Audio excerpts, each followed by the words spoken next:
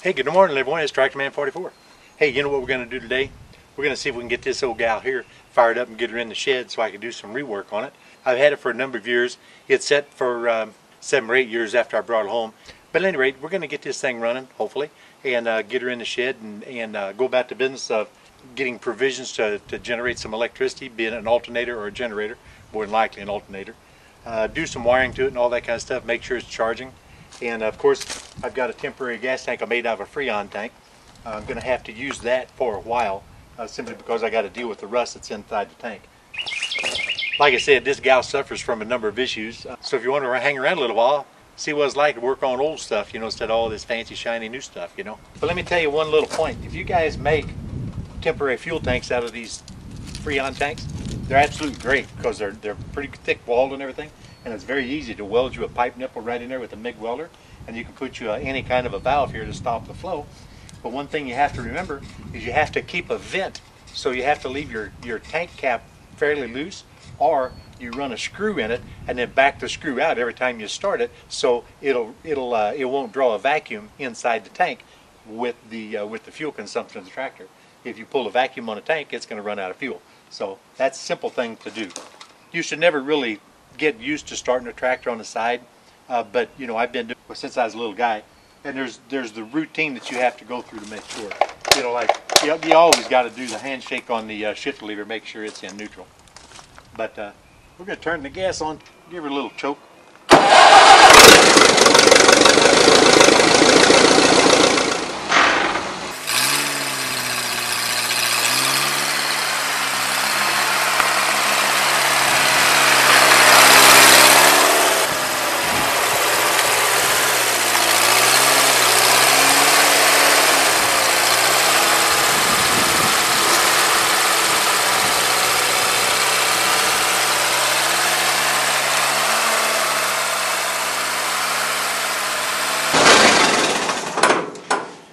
You know, I don't care what you say. It's hard to beat these little Continental engines. These guys are bulletproof. I mean, they're just smooth as silk. Now, what we're going to do, I'm going to go to an alternator, a Delco, or a, or a Delco clone, or whatever you want to call it. This happens to be a Wilson. It's a 90-01-3125, 12 volt, 61 amp, 10 SI. 10 SI is actually the orientation of the mounts uh, and and terminals. Uh, that's not the actual model number of the uh, the alternator, but this should be a true one-wire alternator to facilitate wiring, to make wiring very, very, very easy. You don't have to mess with the diodes. You don't have to mess with uh, tickling terminal number one on the three-wire, you know, to make it start and all that stuff. So let's take a look, see what she got in here.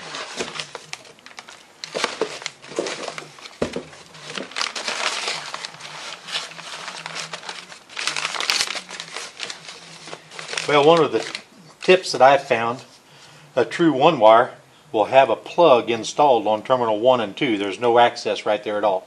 You've got the, the simple one wire right here that does it all. Now, like I said, the 10SI has to do with the orientation of the mounting ears uh, as reference to the, the terminals. And this happens to be a 10SI, which is a very popular, popular mount. This is a true one wire, so this should be quick and simple. Well, it'll be simple to wire we got to figure out a mount for it. One thing I forgot to mention, this is a self-exciting. I said it's a, it's a true one wire. The true one wire is internally regulated as well as being self-excited. You don't have to worry about having a wire feed voltage whenever you turn the key on to terminal number one, like on the three wire, and then make sure that that, that voltage goes away by use of a diode or whatever uh, whenever you uh, whenever you get the engine up to running. This being a self a self-excited one will have a minimum RPM that's going to have to get to. So the drawback on these old tractors, which maximum RPM on some of these old tractors is only well, this one here I think uh, I think uh, wide open throttle is 1450 RPM. Uh, so what you have to do, if the I think that the, the RPM that this will start begin the output is about 1850 RPM. Could be wrong about that, but that's why you have to rev your engine up and you have to adjust the size of the pulley correspondingly to uh, to make sure that your engine RPM will spin this enough to give the out, get the output. And that's an easy test to perform. You check your static, static voltage to ground off of your battery terminal when you turn the key on, and then as soon as you start it, you should see that static voltage stay about the same. And once you elevate the RPMs at the point this becomes excited, your output voltage on the battery terminal will go to 14.5 volts if you're getting output on your, uh, on your alternator. But anyway, this is the bracket here that came off of the side of the block that holds this. So we're going to duplicate that, slightly change the dimensions because this alternator has to actually set farther forward in order to have the pulleys come in alignment with the belt. So I'm going to use this basic design right here so I get the five point mount and then adapt them to where it's going to extend farther forward to accept the alternator. So what I've done, I've taken a, a sheet of uh, 3 16 steel and I've got that shaped. I've got it drilled, you know, for the mounting holes.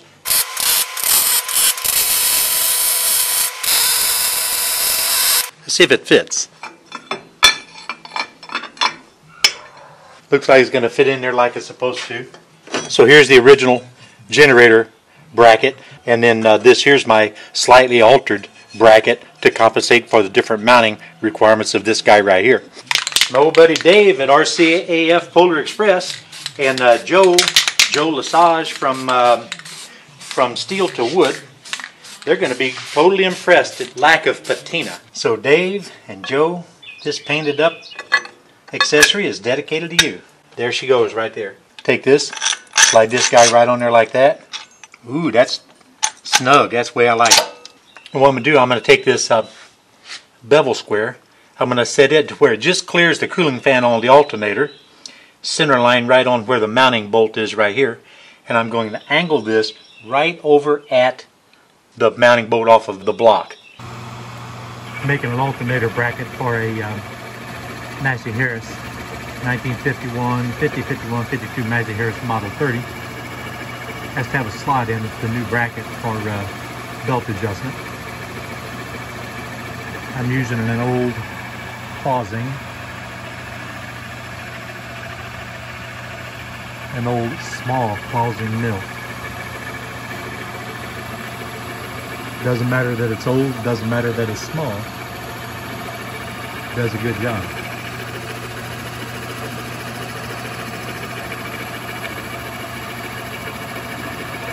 But what I'm doing, instead of using a cutting head, I'm going to use a rosebud, which is a, uh, a tip designed to, uh, to create uh, one heck of a lot of heat uh, in a very concentrated area.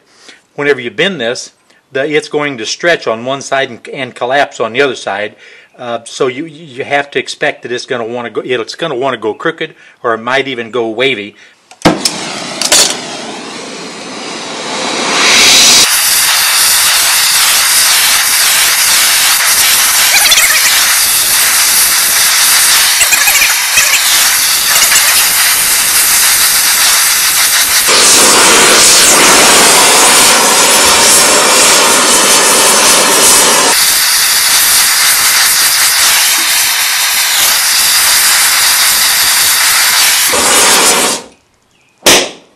That's really fairly close.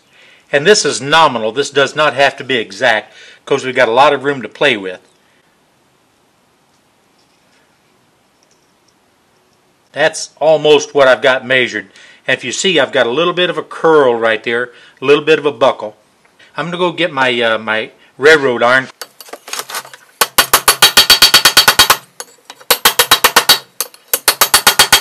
We now have the slot up here for a belt adjustment. If you look down inside, you can see a little easier how that bushing comes into play. Well, there you have it. Just one quick and simple way to mount an alternator. Uh, convert one of these old tractors from a generator to an alternator. Now that we got the alternator mounted on there, next step is going to be putting a couple wires in place, you know. Then we're going to address this gas tank. I've looked down inside, it's definitely got a lot of rust in it. Well, now we're back to uh, completing the alternator and then the wiring and everything because the fuel tank in the last few days has been being uh, treated with electrolysis and then uh, super cleaned and coated with fuel tank sealant. And so that's an entirely separate video in and of itself. We'll be putting that fuel tank back on here in a little bit, you know. But uh, I was going to talk a second about ammeters. I'm going to eliminate the ammeter on this particular tractor here. I'm going to put a voltmeter on this one. A voltmeter, whenever you wire it to where when you turn your switch on, the voltage off the battery goes to the voltmeter. It'll tell you what your static voltage is, so you can take a look, see, depending on the resolution of the meter, and you can see uh, what your static voltage is of the battery. You know, 12 point whatever, you know. And as soon as your tractor starts up, of course, you'll see the voltage drop whenever you uh, hit the starter button because, you know, it, it consumes electric and so the voltage is going to dip a little. But as soon as the alternator then begins producing the electricity, you'll see the voltage come on back up to beyond the static voltage and hopefully at the 14.7 or somewhere around there volts that your alternator should be putting out in order to properly change your battery. Now the self-exciting one wire style also has uh, internal regulation too, to where you don't have to have external regulators or anything like that, you know, for, for voltage control. I know I don't have to tell you all this. The way an ammeter works, it must be connected in series with, with the load. So you have two, uh, two terminals right here. The load actually goes through those two terminals and the, the reaction is a reading on the front of that scale. Now on this guy here on a voltmeter, there's really nothing passes through it. It receives voltage and then goes to ground because it is a, a load in and of itself. It's just going to read what's going to be happening in the circuit. So I'm going to use those same existing wires that came off of the ammeter. The one that's going to power the voltmeter is going to be the one that gets hot when you turn the ignition switch to the on position. That's the one that'll send power to my uh, to my distributor. So it's going to be routed over to uh, the positive post on the voltmeter, and then the negative post on the voltmeter will go to a good ground. There will be no electricity flowing to the meter when the key is in the off position and the tractor is not running. The meter is going to register zero volts. As soon as you turn the key on, it's going to register. This one here is going to go to the positive side. This is going to go to the negative. I got to ground it. We'll be good to go. Now we got the wiring changes all made and everything, so now it's time to go back making the, the alternator do its work. And what we have to do is we got to take the, the pulley off of the old 6 volt generator, transfer that pulley to the new 12 volt alternator.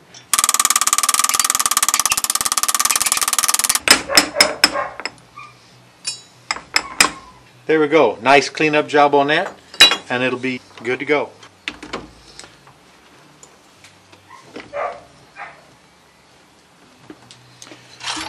It's exactly the same nut and everything.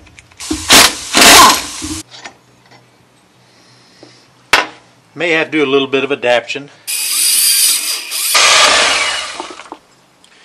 Saw that off, we'll fire that down flush. I'm going to give it a go at that.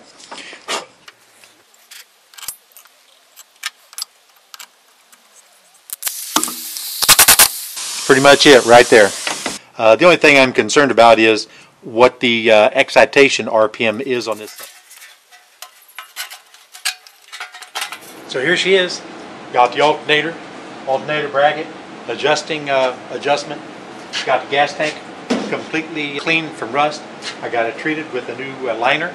Wiring is all complete for 12 volt. If you notice, I got a, a little bit more of a, a better mount for that temporary gas tank, that Freon tank. Uh, reason being, I've got to let that tank cure for 96 hours. Now, if it's going to work the way I described it to you, I turn the key on, we're going to get the dash light, and you're going to read static battery voltage.